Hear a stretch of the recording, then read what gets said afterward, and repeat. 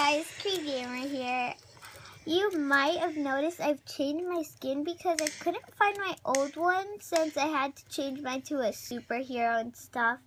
So I couldn't hold it. I couldn't be a superhero. So I couldn't find my old skin. So now I'm this. So I'm going to be like, this is my new permanent skin. So this is like an update. So yeah.